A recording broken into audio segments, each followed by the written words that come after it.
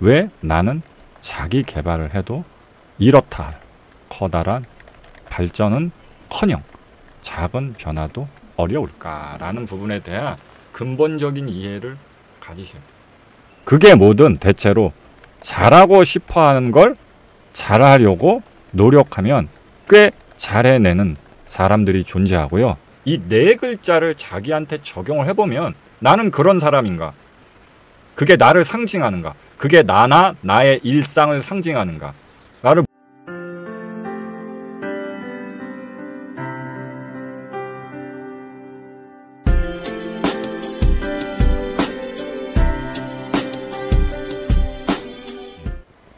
자신의 그러니까 내가 잘난 사람이 되는 방향 수행을 할 거고요. 바탕의 시스템이 과거의 운영 체계 그대로이면 의미가 없습니다. 조금 심하게 얘기하면 거의 대부분의 분들이 조금의 발전도 못할 가능성이 높습니다. 아주 현실적인 얘기입니다. 그러면 왜 그럴까? 왜 나는 자기 개발을 해도 이렇다 할 커다란 발전은 커녕 작은 변화도 어려울까라는 부분에 대한 근본적인 이해를 가지셔야 돼요. 그래서 오늘은 그 바탕의 어떤 운영 시스템을 갈아엎기 위한 또 다른 OS, 또, 다, 또 다른 OS를 깔기 위한 개념에 대한 이야기를 좀 해볼까 합니다. 그래서 현대에서는 이 말을 아주 자연스럽게 취미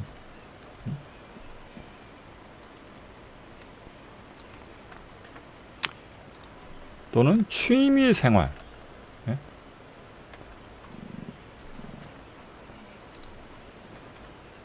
현대에선 이 취미나 취미 생활이란 개념을 아주 흔하게 보편적으로 쓰고 이제 현대인들에게 취미 생활은 자신의 삶과 뗄래야 어? 뗄 수 없는 이거 맞나? 이, 이건가? 뗄 수 없는 이게 맞죠? 뗄래야 뗄 수 없는 이런 이렇게 들러붙어 있는 개념인데 여러분들이 아실지 모르겠지만 상명하게 취미나 취미 생활이라는 개념 자체가 없습니다. 취미나 취미 생활이라는 자체가 없어요. 자, 이걸 갖고 한번 접근을 한번 해봅시다. 어, 어떤 여자분이 있고 30대 분이라고 쳐봅시다. 이 30대 분이 어, 한강에서 자전거를 타는 하다가 사이클 취미가 생겼어요. 그래서 이분이 취미로 예, 뭐 퇴근 후 저녁이나 주말에 사이클을 탑니다. 이렇게 해봅시다. 이런 게 요즘 취미잖아요. 그게 누구한테는 뭐 다양한 것이 운동일 수도 있고 다른 것일 수도 있고 이런 취미가 생겼어요. 그때 이 취미나 취미 생활이라는 걸 한데 한다는 것에 베이스에 어떤 접근이 있는지를 여러분들이 이해를 잘 하셔야 됩니다. 이 마인드를 못 깨잖아요. 그러면 정말입니다. 아무것도 잘할 수가 없어요. 여기서 여러분들이 주목해야 될 부분. 사람들은 나는 이게 잘 되고 저거는 잘 안 된다. 또는 나는 이건 잘하고 저거는 잘 못한다. 이러면서 이런 말로 어떤 스스로의 함정에 빠지냐면 뭘 잘하고 못하고는 어떤 어, 카테고리적 어, 재능이나 편차가 있다. 이렇게 생각하는 가능성이 되게 높습니다. 음? 그렇죠? 근데 이건 사실 틀린 말이고요. 잘 생각해 보시면 우리 주변에 여러분들 그 될놈 되리라는 말 많이 들어보셨죠? 이런 것처럼 뭔가 잘하는 사람은 한 가지만 잘하는 게 아니라 잘하려 하는 거의 대부분을 잘하고요. 그렇지 않던가요? 못하는 사람은 어느 한두 개만 잘 못하는 게 아니고 잘하려 하는 거의 대부분에서 잘 못합니다. 어때? 이거 이해되시고 받아들여지십니까? 원래 그러니까 뭔가를 잘하는 자체가 재능의 영역이거나 실력의 영역이란 뜻이에요. 어떤 사람은 잘하는 걸 잘해. 뭔가를 잘하고 싶은 걸 잘해내는 걸 잘해.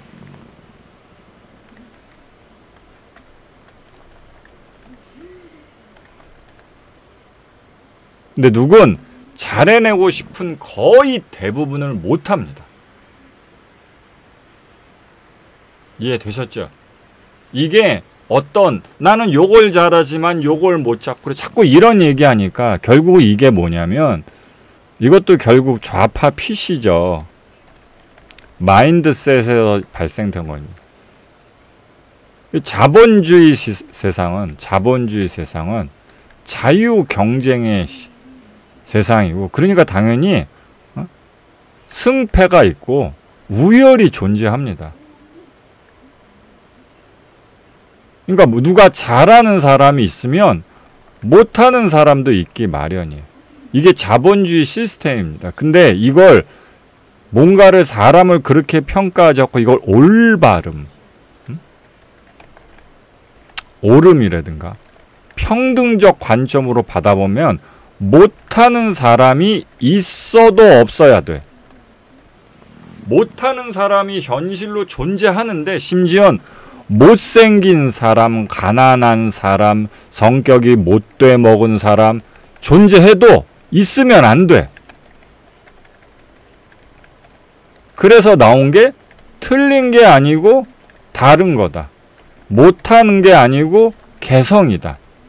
약간 이런 관점이 비벼지다 보니까 비벼지다 보니까 뭔가를 잘하고 뭔가를 못하는 것조차도 평등적 관점에서 이게 다치 자신의 어떤 개성이나 자신의 어떤 특징이나 차별점 같은 개념으로 인식이 된 거죠. 그래서 어 나는 노래는 잘 못하지만 뭐 춤은 좀 잘 추고 아 나는 뭐, 뭐 빠르게 달리는 건 못하지만 몸이 부드러워서 요가는 잘하고 이런 식으로 이렇게 나는 저건 못하지만 이건 잘하고 저 사람은 요건 잘하지만 저건 못하니까 결국 쌤쌤이다. 남은 A를 잘하고 B를 못해. 나는 A를 못하고 B를 잘해. 아, 그래서 또이 또이 쌤쌤이다. 이렇게 해석을 하는 거죠. 지금의 세상에서.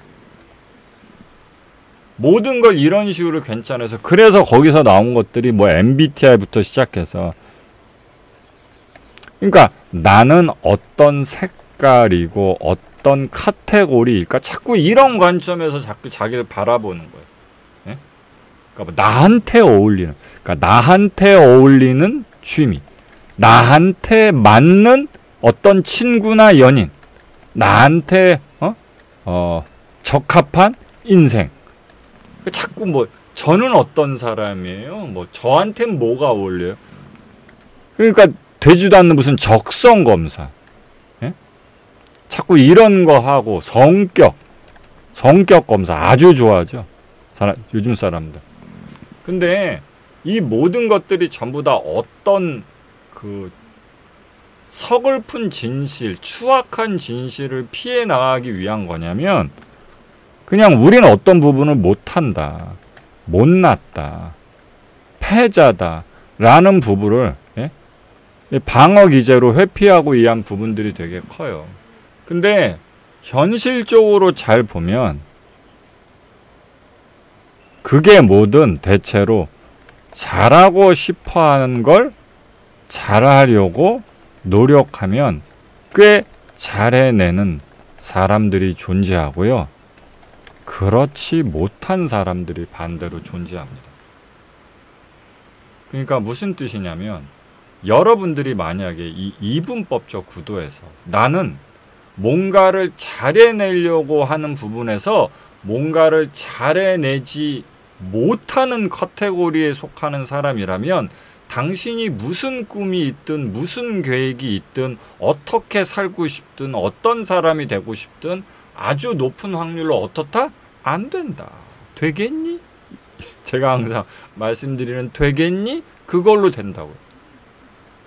이게 엄청 슬픈 얘기 아니에요. 교수님 저 뭐 어떤 사람이 되고 싶어요. 저 어떤 인생을 살고 싶어요. 어? 뭐를 가지고 싶어요. 뭐를 잘하고 싶어요. 뭔 말을 할 때마다 제가 되겠니? 어? 제가 이렇게 얘기하면 여러분도 어때요? 열받지 않으세요? 뭔 말만 하면 교수님 저 결혼 이렇게 할 거예요. 전 이런 아기를 낳을 거예요. 저는 이런 회사에 취직할 거예요. 저는 어, 어 이런 사람이 될 거예요. 뭐 되겠니? 그러면 아니 이게 다 무의미하잖아요. 뭔 꿈?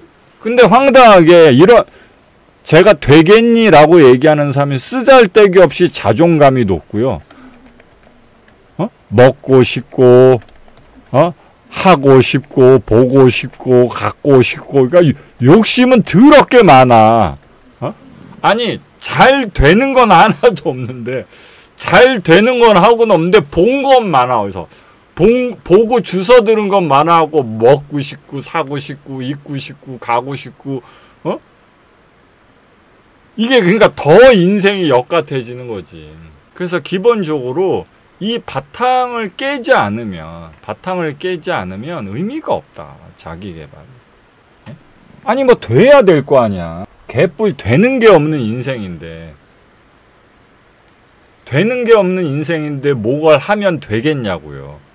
근데 아니 그럼 뭐 어쩌라고 이렇게 현실적인 얘기가 아니라 그게 가능한 길이 있어요. 가능한 길이.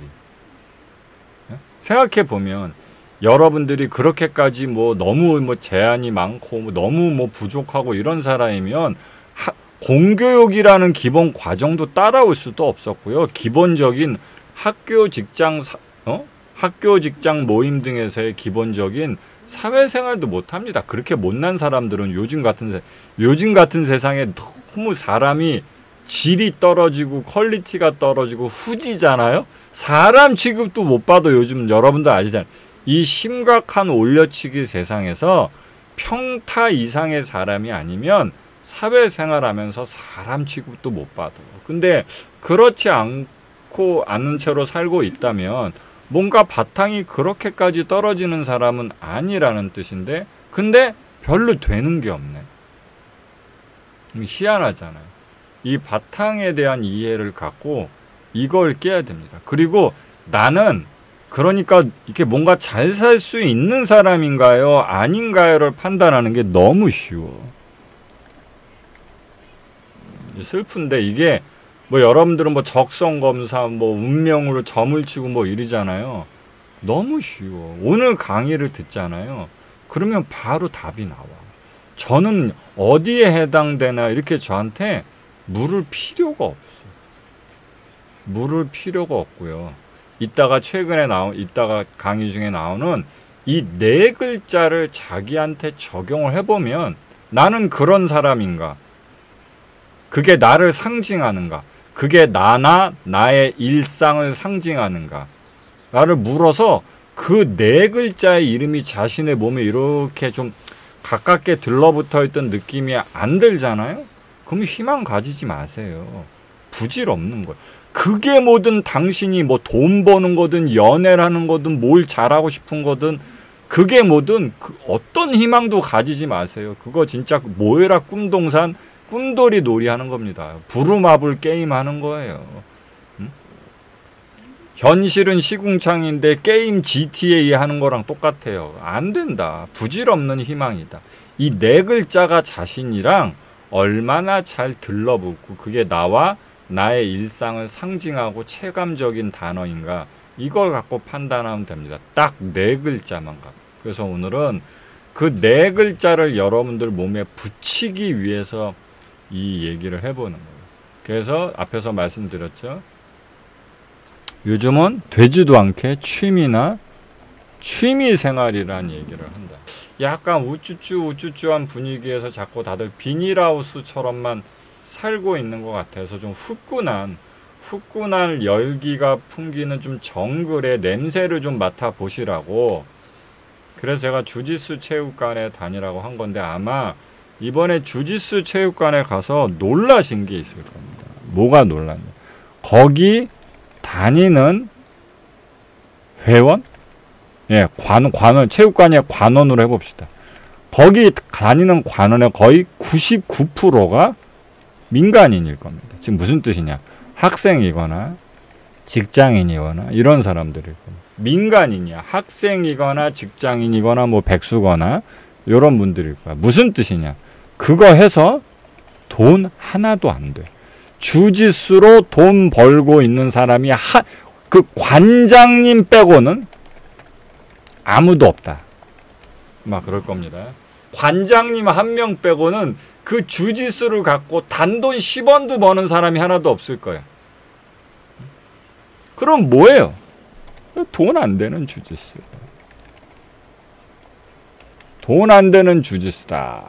그렇죠? 돈이 안 되면 뭐라도 돼야 돼. 여자한테 인기라도 있는 그런 주짓수.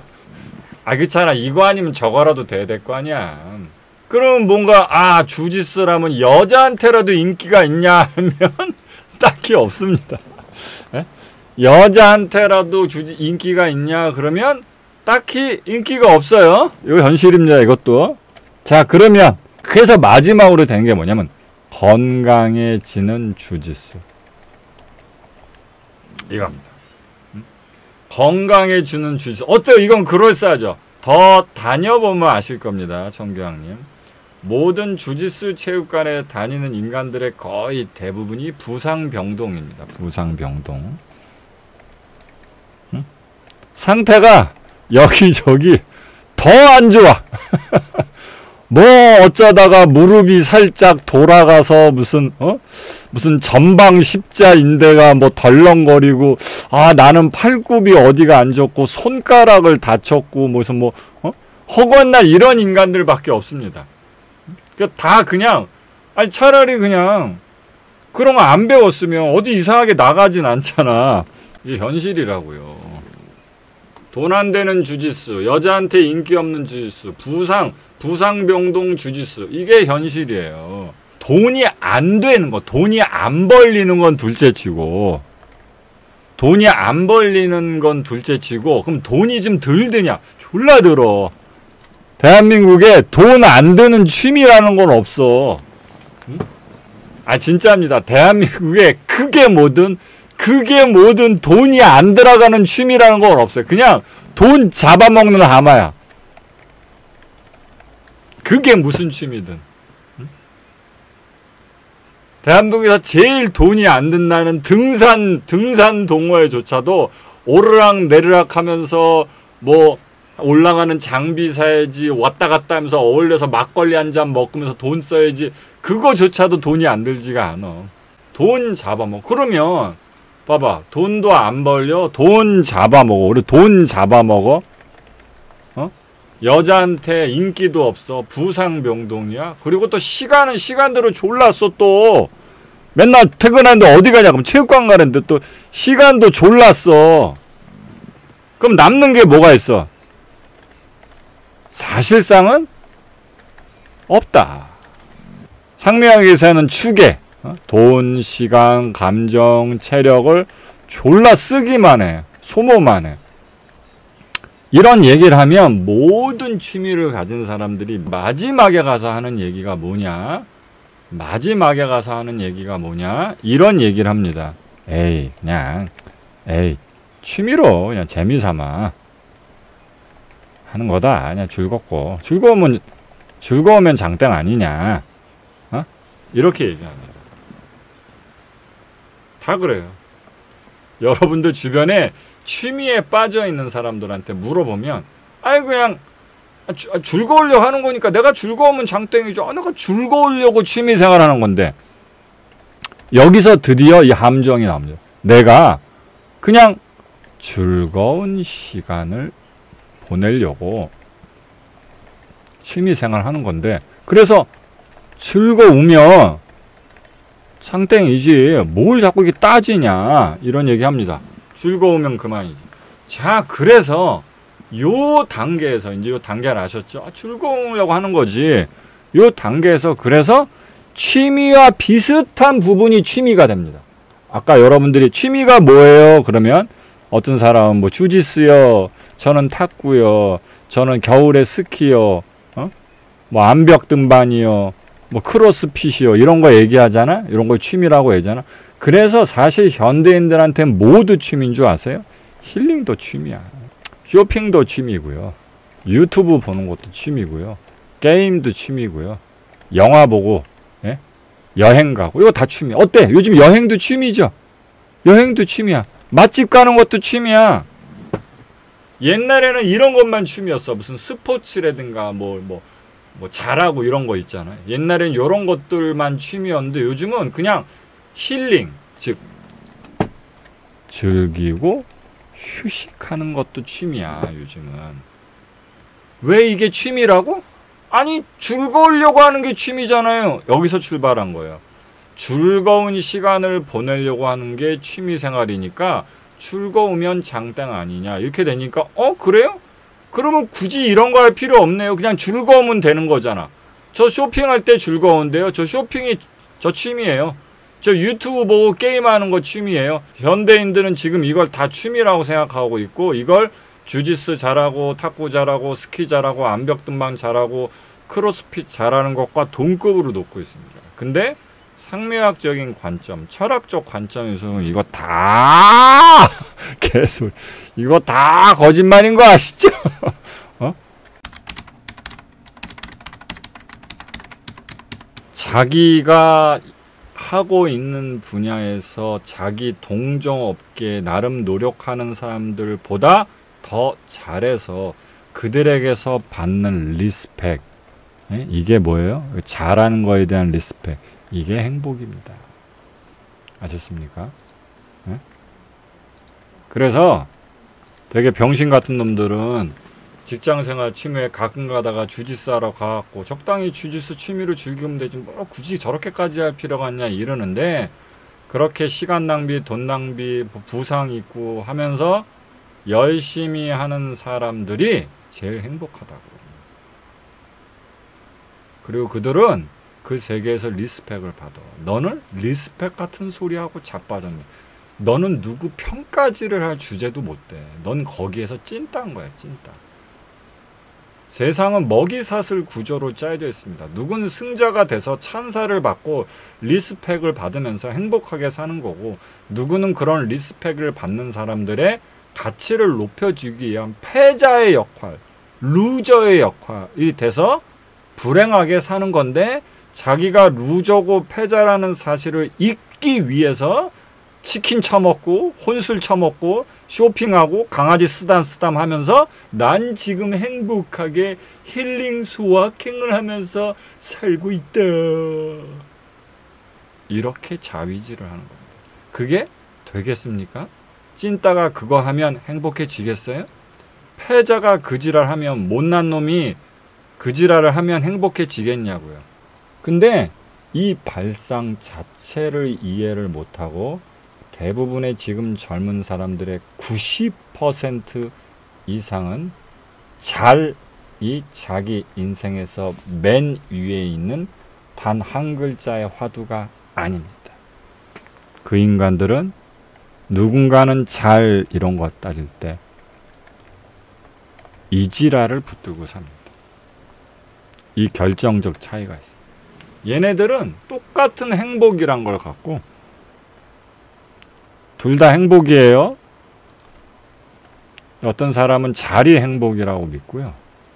어떤 인간은 힐링이 행복이라고 믿으면서 합니다. 그래서 이 인간에 있는 이 영역에 있는 인간들은 절대로 이 영역으로 못 넘어옵니다. 왜냐? 평생 이쪽으로 오지도 않아.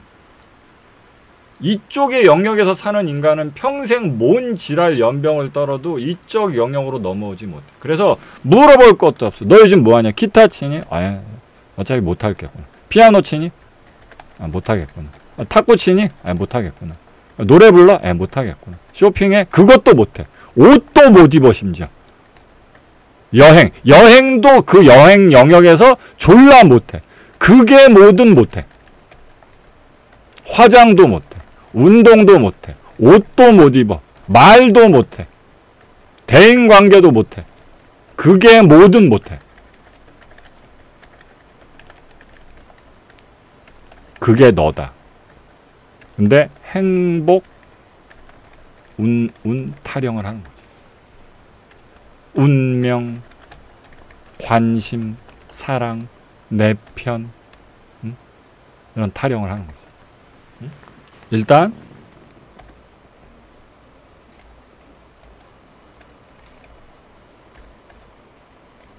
이게 일단 출발이요.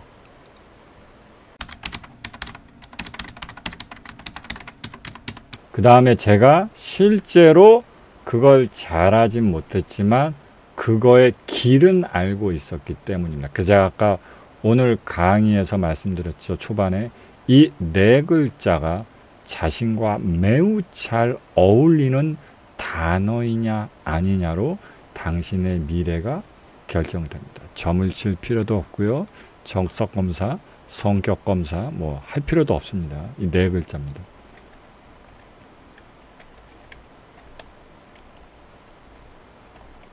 당신은 테크니션입니까? 이네 글자, 네 글자를 자기한테 던져. 당신은 테크니션입니다. 그게 뭐든 옷을 입든, 말을 하든, 노래를 부르든, 운동을 하든, 대인관계를 하든, 뭘 하든, 당신은 어떤 분야에서 졸라게 기술을 파고들고 어마어마하게 디테일한 기술과 엄청나게 많은 기술을 사용하는 테크니션입니까? 아니세요? 그러면 희망은 없습니다. 당신은 어떻게 살고 무슨 노력을 하고 누굴 만나고 얼마나 노력을 하시든 관계없이 당신의 미래엔 희망 같은 건 애초부터 없는 겁니다. 잘의 영역에서 잘 해내진 못하더라도 힐링의 영역이 아닌 행복을 잘의 영역에서 평생 꿈꿔온 사람들은 당연히 인생의 목표가 테크니션이 됩니다. 그러면 이 잘과 테크닉, 테크니션의 길을 이해하는 순간 우리가 지금까지 질타했고 무시했던 이상한 maniac한 사람들의 본질이 드디어 보이기 시작합니다. 그럼 뭐가 달라요? 네. 급이 다르지. 그래서 지금까지 여러분들 눈에 안 보였던 것들이 보이기 시작. 여러분들이 볼 때 별로 좀 한심해. 내 친구들 중에요. 저랑 비교해도 뭐 별 다르지도 않은데요. 누구는 시집도 잘했고요. 사랑도 받고. 웃기고 있네. 네가 볼 땐 별거 아닌 것 같지. 걔는 너랑 급이 달라. 아예 급이 다르다. 네 눈에만 너랑 비슷한 인간 같지. 왜? 이 테크닉의 길에 들어가잖아요. 그러면 respect이 절로 나와. 응? 왜 respect이 안 된다? 아는 것도 없으니까 지금 보아님 얘기한 것처럼 보이는 것도 없어. 와, 나랑 아예 급이 다르구나. 차원 자체가 다르구나. 조차도 안 보였던 거야. 우와, 그래서 남을 볼 때, 우와, 헐, 넘사. 이걸 느끼게 되자고. 왜? 이게 안 나와. 이걸로 바뀌어. 너의 징징거림이, 너의 징징거림이 그 보는 눈조차 없다는, 없으니까 징징거리는 거야. 보는 눈이 있으면, 헐, 와, 와 넘사 오 respect respect 이렇게 감탄사로 바뀌어 감탄 음? 그래서 시기 질투 열등감 열폭 어? 열패 열폭감 열패감 이런 게 안 되는 이렇게 왜 안 생기는 줄 아세요? 그 영역에서 자를 추구하고 테크니션을 추구하고 거기서 어? 잘하는 고수를 보면 시기되고 질투되고 열등감, 열폭감, 열패감이 생기는 게 아니고 감탄이 나온다고 감탄. 와.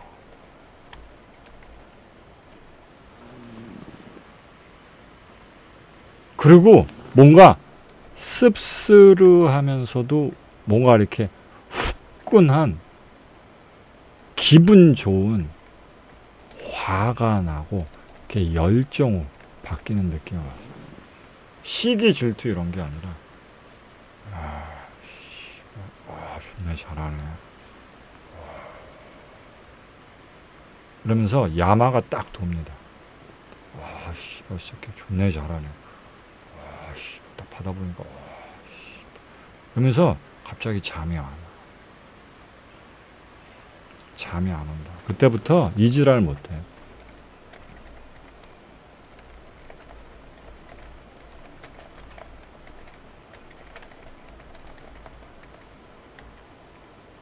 이런 거 못해. 못한다. 약이 올라. 누가 노래 부르면 오 대단하다 박효시요. 어 너무 대단. 야, 넌 노래 잘 부르고 싶은 생각 없니? 넌 노래 안 파고 들어봤니? 그게 어 너무 잘 부르는데 대단하지 않아? 그게 그렇게 되니? 응? 그럼 그때부터 이제 방법을 골몰하게 되고 방법에 골몰하면 무조건 기술적 테크니션을 지향할 수밖에 없는 거라서 그래서 그래서 그게 뭐든 있어 이걸 묻는 거야. 야, 너는 어, 어떤 그러니까 한 개라도 대봐. 어느 분야에 뭐가 나는 졸라게 기술적으로 파고들어서 테크닉이 뛰어난 테크니션 그런 거 한 개라도 좀 내야. 그게 뭐라도 좋아. 한 분야라도 갖고.